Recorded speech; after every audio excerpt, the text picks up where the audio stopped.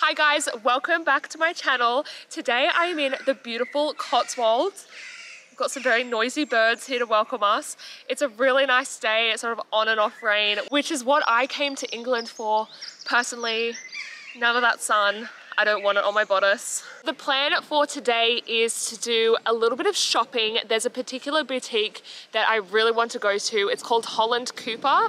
And if you've been following my channel for a while, you know I've talked about this brand because it's very classic British fashion. So I'm really excited to actually go to their boutique and try some things on. And then yeah, just have a little bit of a peruse around the Cotswolds and hopefully not eat my hair. okay.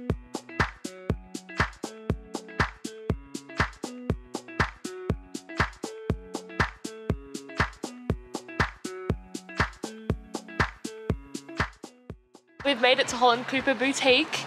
It's in this really cute little farm shop area.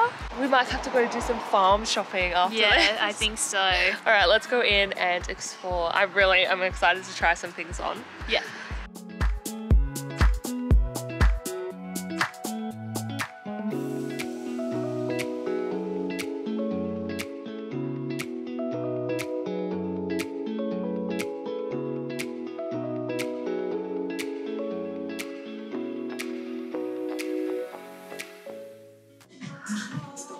Obsessed with those. That's hot. That's so you. Yeah, that's really cute. My god, Pier, look at these gillets. Lots of Norse gilet. Little polo. Hello. Stop it. There's so much here. It's very extensive. Just really living my horse girl fantasy right now. Because they got all the sticky stuff on them. yeah, they are very like Grippy. They're like, actually, I'm on a horse. Yeah, you got to grip onto that popo.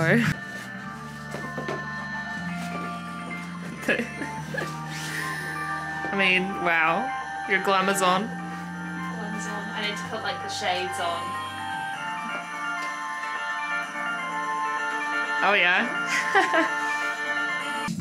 Yeah, you literally look at the leg from the side view as well.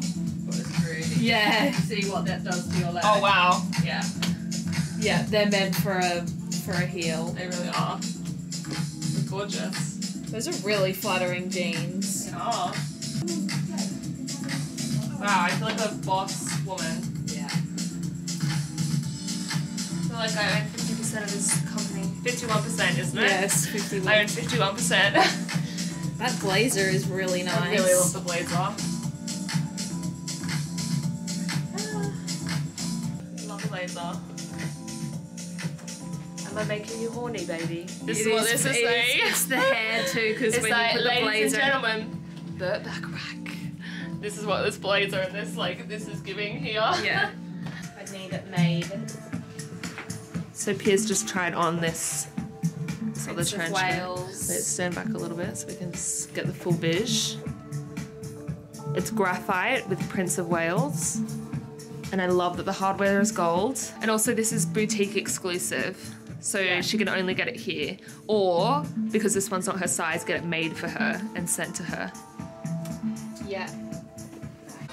And I've tried on this blazer with a little bit more of a casual. And it still looks good. still looks really good.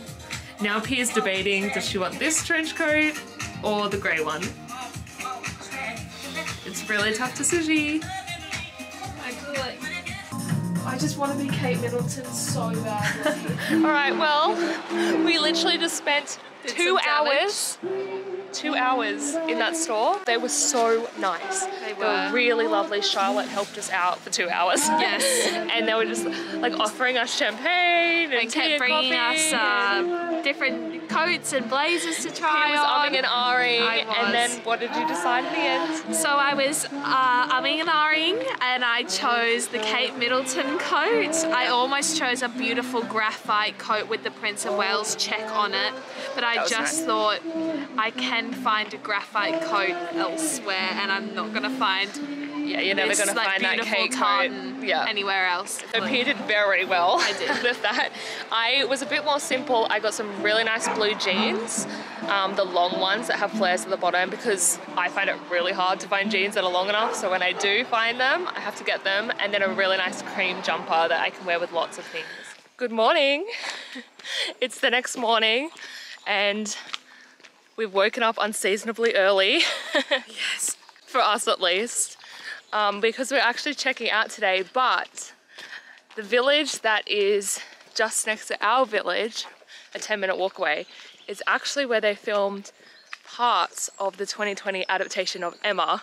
So I dragged poor Pier out of bed, put on my Doen dress, not exactly Regency, but gives the vibes.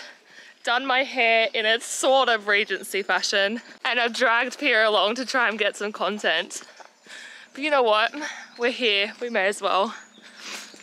So trying to rush and do this before breakfast. So this is the village of Lower Slaughter in the Cotswolds, and this is the location that they used for Highbury in the 2020 version of Emma. I'm trying to keep my voice down a little bit because it is early in the morning and I don't want someone who lives here coming out and being like, shut up, I'm trying to sleep.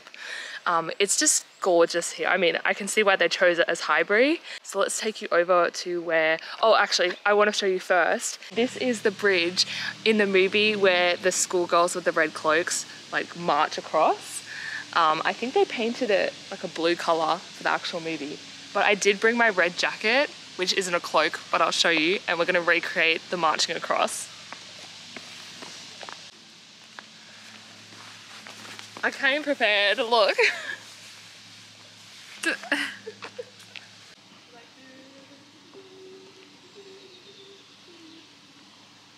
Yeah, got it.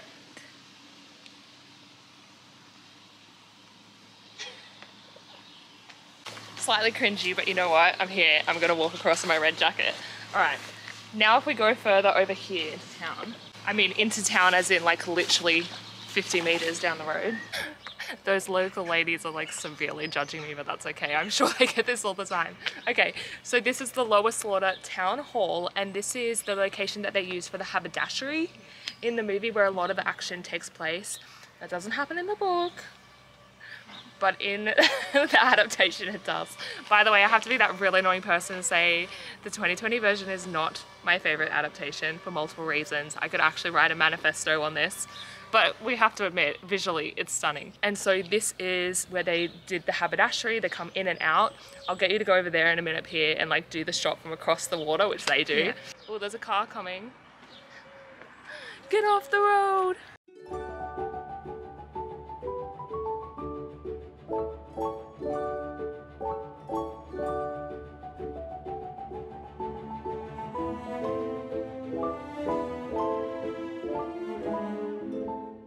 And there are some film locations from the 2020 adaptation of Emma. I hope that you enjoyed exploring around a little bit with me. Um, and I think I'm gonna leave this Cotswolds vlog here. Thank you so much for watching. And if you did enjoy today's video, please remember to give it a like and also subscribe to my channel for more. Thanks guys, and I'll see you next time. Bye-bye.